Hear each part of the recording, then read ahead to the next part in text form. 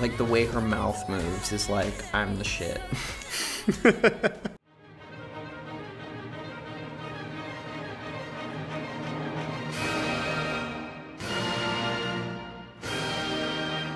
So now you're reacting to a solo artist named SAAY. She was a former member of the girl group Evol and debuted as a solo artist with her first digital single. She evolved.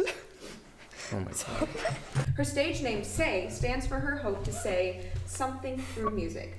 This song is an empowering I don't give a F party song and was composed by Deez and SAAY herself. Cool. Oh. Oh man. Break it down. Pretty good. That's pretty good.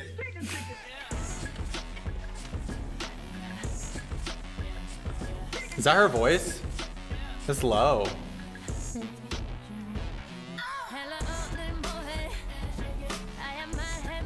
She's got a nice voice. It's very clear.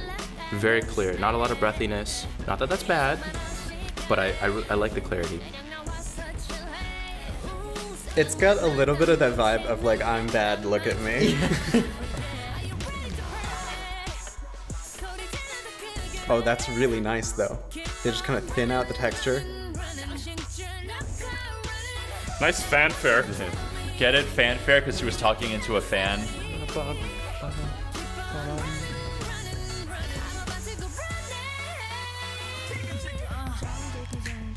Oh, I love the lazy. Jiggy, jiggy, jiggy. Oh, yes. Oh, yes. This is very good. It's got a real focus on the vocals. I appreciate that. Oh, I like that. The little like pop into the choruses here and there. Adds a lot of power. Yeah, when they do chord, chord, chord, chord. Yeah. That's cool too. Join a chorus, kids.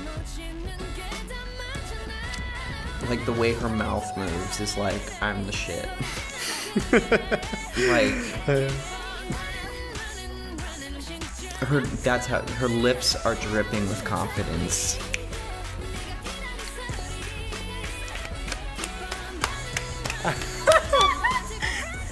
Ooh. Whoa. Oh, she went pretty high.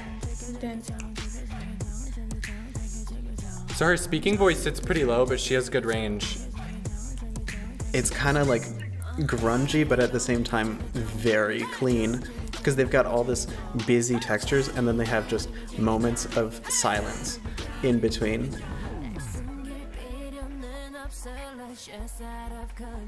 Modal mixture in the bridge. Oh, she avoided it. She avoided the pickety that time.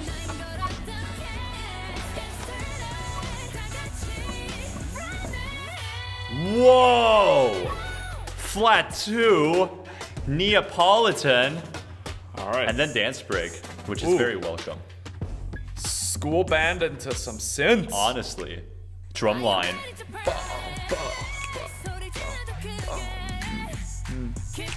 Man, the cho- it's so minimalist, but it works so well.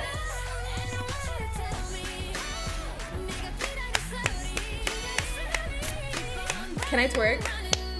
Go for it. Wow. Wow. Oh, she didn't do the John Jiggy Jazz Young Jiggy.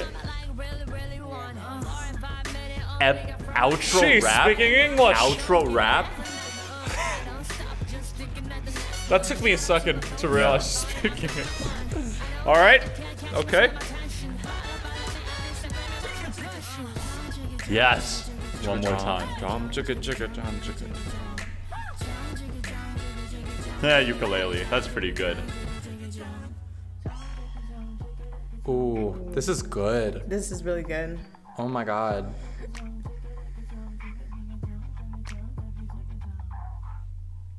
Wow. What a What a what an opus. What an opus. What an opus number. Yeah, what an opus of a song. That like Yeah, lazy that was like was- drunk, take a drunk, take a good time. You're like, I got the swag. I'm not even trying. I loved how they added more like vocals, but like like the background vocals. Like there was like that thing on the bass that we were talking about that we were like, is that sexy back? Like you just have like Like there's this Don't you really, don't, don't just a nice, really low bass Yeah. voice, but he's talking. But Yeah, it's so Well, low. it wasn't that low. It just the, the timbre of it was super covered to like create layers. I think that's pretty, that was interesting, and I liked most they the lead-in was a bunch of brass instruments, what I assume is just mostly trumpets because it was very high. You're like, hello. Um, and then that went in, that led in from the pre-chorus to the refrain of the marching band, dun, dun, with all the snares. And I thought that was super cool because they stayed within the realm of an instrumentation, of a style. And that's like, we, you, people sample from so many different genres now that it can sometimes sound like a big, big Mod Podge and you can't really draw out a single feeling. But this was like, I'm really feeling drum major right now. I'm really feeling football game, homecoming, let's cheer. And that was really interesting. The funny part is that was very like football game, and then the very end you can hear like the sneaker skid across like the gym floor, and that's like Oh, very basketball game. yeah. She's doing like the jun chicka jun jun. I was like, we're just yeah yeah yeah the ear like it's yeah if you've been like running on like a gym floor and like your sneakers just like squeak like Yeah. that. This is really interesting. I'm getting a lot of Beyonce vibes from this. It's early 2008 Beyonce because Yeah. of the vibe and the funk beat. It reminded me so much of funk because it had like some of the horns like you would hear ba-da-ba, and like just stuff like that that Mm-hmm. Yeah. would like be a shout section for a funk tune. Yeah. And it reminded me a lot of Talk Dirty to Me by I forgot who. Yeah. Yeah. mhm. But not like also that. partition, just the whole like Yeah. like she like the the where her voice sits, it's like pretty Low. low. Which is like sort of reminiscent. Even the sounds that she was making were sort of like reminiscent, and just the whole like air of like badassery, and even like the the mixing and like the the production on the song. It was just like there were a lot of similarities, but maybe it's just like she's a boss.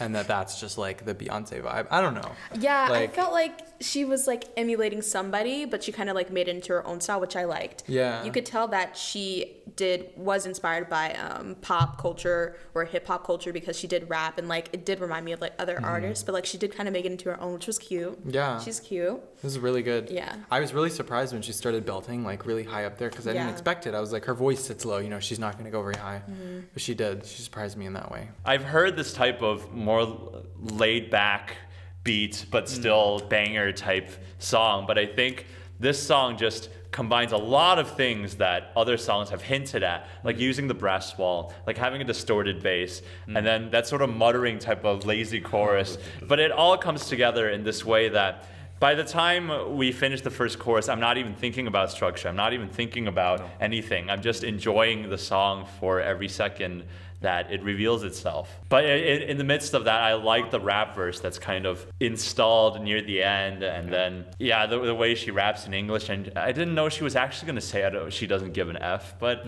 that was even very welcome. having her voice going spike really high and then have this I wouldn't say muttering. Would it be muttering? It's very low low frequency. Yeah, the consonants are all very soft and on purpose. Yeah, but it's still audible. That's the very important part and it wraps everything together because you have all these heavy beats. So where's this going? It's like there's so much potential with such an upbeat. I guess upbeat and very very explorative tempo and also use of meter. Yeah, it was just very interesting to see how, how she utilizes all these, or I guess the composers utilize these techniques to come together. And then the vocal center has the, the mutter that wraps it really together. What is the synonym to badass? Head bitch in charge. That's, not that's better. worse. and you can't. I can't say dominatrix either. Like That's worse. that's way worse. Try, but she's like building this artist persona around herself with like the lyrics and the way that she's like presenting herself, and like also having like that group of people dressed in black around you with pink gloves on that have your initials on it. Um, but it like plays on that like I don't know the whole like John Jigga John John. That's definitely something I would listen to in my apartment, and I'm like strutting around in my underwear, and I'm just like, this is the confidence I needed today.